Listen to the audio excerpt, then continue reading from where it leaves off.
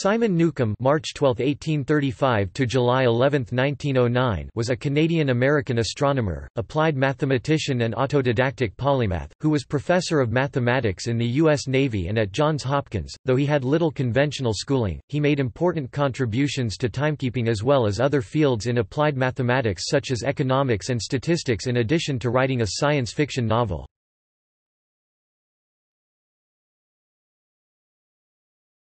Topic: Biography.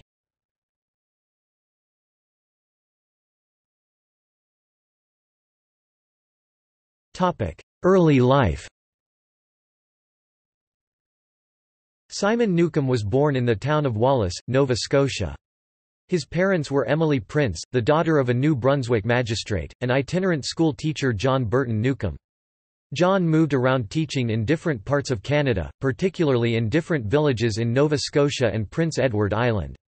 Emily was a daughter of Thomas Prince and Miriam Steeves, making Simon a great-great-grandson of Heinrich Stieff, and a not-too-distant cousin of William Henry Steeves, a Canadian father of Confederation. Newcomb seems to have had little conventional schooling other than from his father and from a short apprenticeship to Dr. Foshay, a charlatan herbalist, in New Brunswick in 1851. Nevertheless, his father provided him with an excellent foundation for his future studies. Newcomb's apprenticeship with Dr. Foshay occurred when he was only 16. They entered an agreement that Newcomb would serve a five-year apprenticeship during which time Foshay would train him in using herbs to treat illnesses. For two years he was an apprentice but became increasingly unhappy and disillusioned with his apprenticeship and about Foshay's unscientific approach, realizing that the man was a charlatan. He made the decision to walk out on Foshay and break their agreement. He walked the 120 miles 190 kilometers to the port of Calais in Maine where he met the captain of a ship who agreed to take him to Salem, Massachusetts so that he could join his father. In about 1854, he joined his father in Salem John Newcomb had moved earlier to the United States, and the two journeyed together to Maryland. After arriving in Maryland, Newcomb taught for two years from 1854 to 1856, for the first year in a country school in Massey's Cross Roads, Kent County, MD, then for a year at a school not far south in Sudlersville in Queen Anne's County, MD. In his spare time he studied a variety of subjects such as political economy and religion, but his deepest studies were made in mathematics and astronomy. In particular he read Newton's Principia at this time. In 1856 he took up a position as a private tutor close to Washington and he often traveled to that city to study mathematics in the libraries there. He was able to borrow a copy of Bowditch's translation of Laplace's Traité de mécanique céleste from the library of the Smithsonian Institution but found the mathematics beyond him. Newcomb studied mathematics and physics privately and supported himself by teaching before becoming a human computer a functionary in charge of calculations at the Nautical Almanac Office in Cambridge, Massachusetts in 1857. At around the same time, he enrolled at the Lawrence Scientific School of Harvard University, graduating BSc in 1858.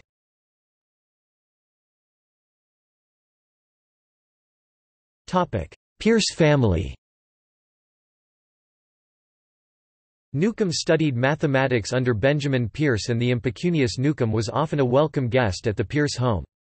However, he later was said to develop a dislike of Peirce's son, Charles Sanders Peirce and has been accused of a successful destruction of C.S. Peirce's career. In particular, Daniel Coit Gilman, president of Johns Hopkins University, is alleged to have been on the point of awarding tenure to C.S. Peirce, before Newcomb intervened behind the scenes to dissuade him. About 20 years later, Newcomb allegedly influenced the Carnegie Institution trustees, to prevent C.S. Peirce's last chance to publish his life's work, through a denial of a Carnegie grant to Peirce, even though Andrew Carnegie himself, Theodore Roosevelt, William James and others, wrote to support it.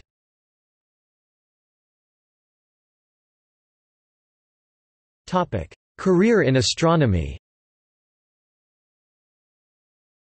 In the prelude to the American Civil War, many U.S. Navy staff of Confederate sympathies left the service and, in 1861, Newcomb took advantage of one of the ensuing vacancies to become professor of mathematics and astronomer at the United States Naval Observatory, Washington, D.C. Newcomb set to work on the measurement of the position of the planets as an aid to navigation, becoming increasingly interested in theories of planetary motion. By the time Newcomb visited Paris, France in 1870, he was already aware that the table of lunar positions positions calculated by Peter Andreas Hansen was in error. While in Paris, he realized that, in addition to the data from 1750 to 1838 that Hansen had used, there was further data stretching as far back as 1672. His visit allowed little serenity for analysis as he witnessed the defeat of French Emperor Napoleon III in the Franco-Prussian War and the coup that ended the Second French Empire. Newcomb managed to escape from the city during the ensuing rioting that led up to the formation of the Paris Commune and which engulfed the Paris Observatory. Newcomb was able to use the new data to revise Hansen's tables. He was offered the post of director of the Harvard College Observatory in 1875 but declined, having by now settled that his interests lay in mathematics rather than observation.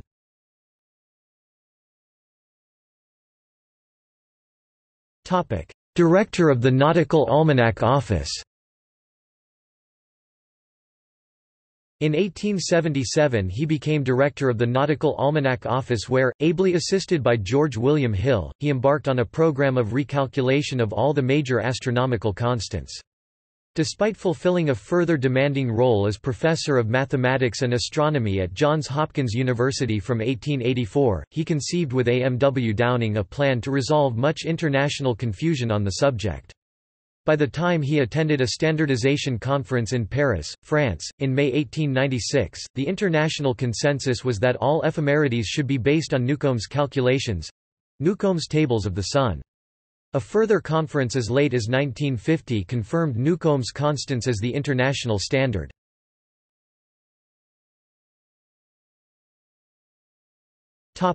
Personal life Newcomb married Mary Caroline Hassler on August 4, 1863 and had four daughters with her. Mary Caroline Hassler's father was United States Navy surgeon Dr. Charles Augustus Hassler and her grandfather was Ferdinand Hassler, the first superintendent of the Coast Survey. Newcomb died in Washington, D.C. of bladder cancer and was buried with military honors in Arlington National Cemetery with President William Howard Taft in attendance. Newcomb's daughter Anita Newcomb McGee was an MD and founder of the Army Nurse Corps. She received the Spanish War Service Medal for her services during the Spanish–American War.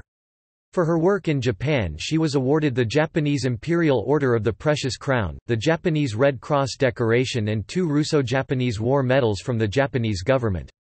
She is buried next to him with full military honors. Newcomb's daughter Anna Josepha studied at the Art Students League in New York. She was active in the suffrage movement. In 1912, she organized the first Cornwall meeting in support of voting rights for women. Josepha Newcomb married Assistant U.S. Attorney General Edward Baldwin Whitney, who was the son of Professor William Dwight Whitney and the grandson of U.S. Senator and Connecticut Governor Roger Sherman Baldwin. He was also the grandfather of mathematician and Professor Hassler Whitney.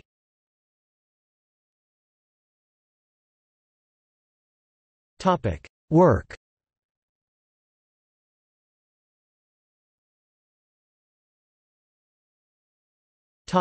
Speed of light In 1878, Newcomb had started planning for a new and precise measurement of the speed of light that was needed to account for exact values of many astronomical constants. He had already started developing a refinement of the method of Léon Foucault when he received a letter from the young naval officer and physicist Albert Abraham Michelson who was also planning such a measurement. Thus began a long collaboration and friendship. In 1880, Michelson assisted at Newcomb's initial measurement with instruments located at Fort Myer and the United States Naval Observatory, then situated on the Potomac River. However, Michelson had left to start his own project by the time of the second set of measurements between the observatory and the Washington Monument. Though Michelson published his first measurement in 1880, Newcomb's measurement was substantially different. In 1883, Michelson revised his measurement to a value closer to Newcomb's.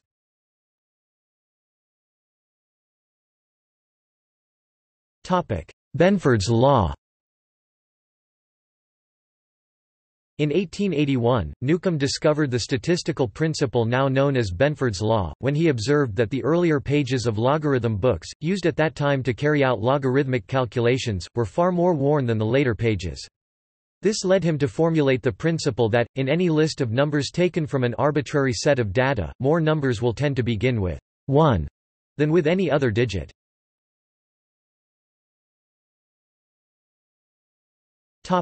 Chandler wobble In 1891, within months of Seth Carlo Chandler's discovery of the 14-month variation of latitude, now referred to as the Chandler wobble, Newcomb explained the apparent conflict between the observed motion and predicted period of the wobble. The theory was based on a perfectly rigid body, but Earth is slightly elastic. Newcomb used the variation of latitude observations to estimate the elasticity of Earth, finding it to be slightly more rigid than steel.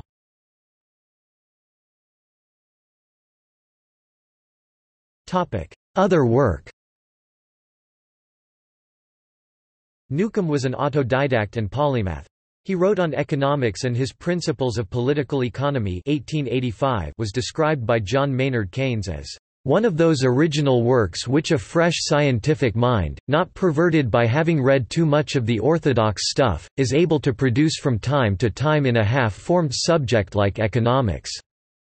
He was credited by Irving Fisher with the first known enunciation of the equation of exchange between money and goods used in the quantity theory of money.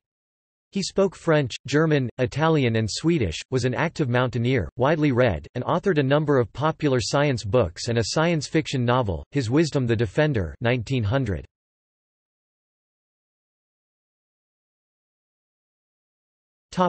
On the state of astronomy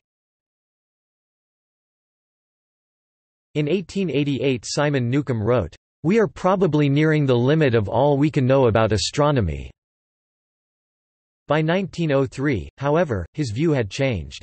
In an article in Science he wrote, What lies before us is an illimitable field, the existence of which was scarcely suspected ten years ago, the exploration of which may well absorb the activities of our physical laboratories, and of the great mass of our astronomical observers and investigators for as many generations as were required to bring electrical science to its present state.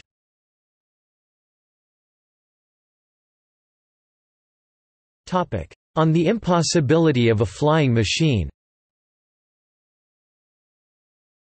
Newcomb is famously quoted as having believed it impossible to build a flying machine. He begins an article titled, Is the airship possible? with the remark, That depends, first of all, on whether we are to make the requisite scientific discoveries. He ends with the remark, The construction of an aerial vehicle which could carry even a single man from place to place at pleasure requires the discovery of some new metal or some new force. In the October 22, 1903, issue of The Independent, Newcomb made the well-known remark that, "...may not our mechanicians, be ultimately forced to admit that aerial flight is one of the great class of problems with which man can never cope, and give up all attempts to grapple with it?" Completed by the motivation that even if a man flew he could not stop. Once he slackens his speed, down he begins to fall. Once he stops, he falls as a dead mass. He had no concept of an airfoil. His aeroplane was an inclined, thin flat board. He therefore concluded that it could never carry the weight of a man. Newcomb was specifically critical of the work of Samuel Pierpont Langley, who claimed that he could build a flying machine powered by a steam engine and whose initial efforts at flight were public failures. In 1903, however, Newcomb was also saying, Quite likely the 20th century is destined to see the natural forces which will enable us to fly from continent to continent with a speed far exceeding that of a bird. But when we inquire whether aerial flight is possible in the present state of our knowledge, whether, with such materials as we possess, a combination of steel, cloth and wire can be made which, moved by the power of electricity or steam, shall form a successful flying machine, the outlook may be altogether different. Newcomb was clearly unaware of the Wright brothers' efforts whose work was done in relative obscurity and apparently unaware of the internal combustion engine's better power-to-weight ratio. When he heard about the Wrights' flight in 1908 he was quick to accept it. Newcomb favored the development of rotating wing helicopters and airships that would float in the air blimps. Within a few decades, Zeppelins regularly transported passengers between Europe and the United States, and the Graf Zeppelin circumnavigated the Earth.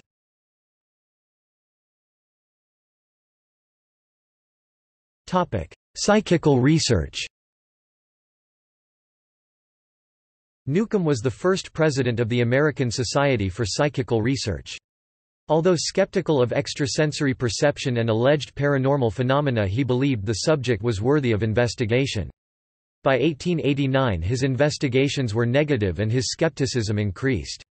Biographer Albert E. Moyer has noted that Newcomb convinced and hoped to convince others that, on methodological grounds, psychical research was a scientific dead end.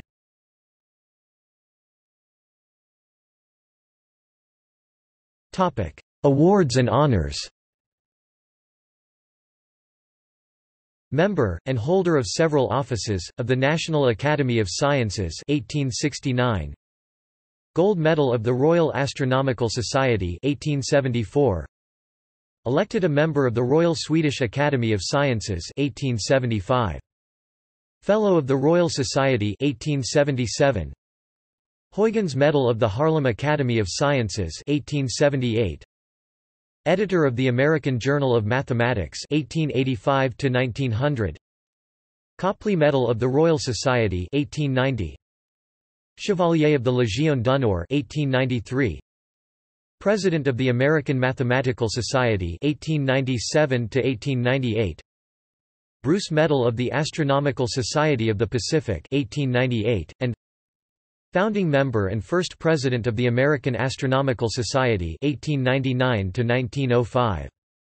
Foreign member of the Royal Netherlands Academy of Arts and Sciences 1898. Inductee of the Hall of Fame for Great Americans.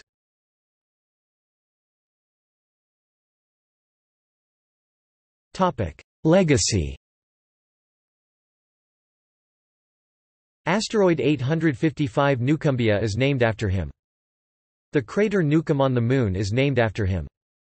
The Royal Astronomical Society of Canada has a writing award named after him. The Time Service building at the U.S. Naval Observatory is named the Simon Newcomb Laboratory. The U.S. Navy minesweeper Simon Newcomb YMS 263 was launched in 1942, served in the Pacific Theater during World War II, and was decommissioned in 1949. Mount Newcomb 13,418 feet 4,090 meters appears on USGS topographic maps at coordinates 36.5399 degrees north, 118.2934 degrees west in the Sierra Nevada mountains.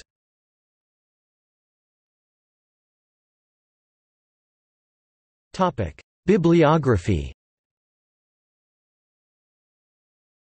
Newcomb, S. 1878 Research on the Motion of the Moon, Part 1 Newcomb, S. 1878 Popular Astronomy Newcomb, S. 1879 Astronomy for Schools and Colleges Newcomb, S. 1881 Note on the frequency of use of the different digits in natural numbers. American Journal of Mathematics, 4 1, 39–40 doi 10.2307 2369148 JSTOR 2369148 Newcomb, S. 1885 Principles of Political Economy Internet Archive Newcomb, S. 1887 The ABC of Finance Newcomb, S. 1890 Elements of Astronomy Newcomb, S. 1900 His Wisdom the Defender Science fiction novel. Newcomb, S. 1901 The Stars Newcomb, S. 1902 Astronomy for Everybody Newcomb, S. 1903 The Reminiscences of an Astronomer His autobiography, reissued by Cambridge University Press, 2010. ISBN 978 one 108 01391 8 Newcomb, S. 1903. The Outlook for the Flying Machine, The Independent, the 22nd of October 1903, pp. 2508-12. Newcomb, S. 1906. Compendium of Spherical Astronomy. Newcomb, S. 1907. Investigation of inequalities in the motion of the Moon produced by the action of the planets. Newcomb, S. 1912 Research on the Motion of the Moon, Part IIA Number of astronomical, physical, and mathematical papers written between 1882 and 1912 are mentioned in "...astronomical papers prepared for the use of the American Ephemeris and Nautical Almanac", U.S. Naval Observatory. The Nautical Almanac Office. 12 August 2008. Retrieved 24 February 2009.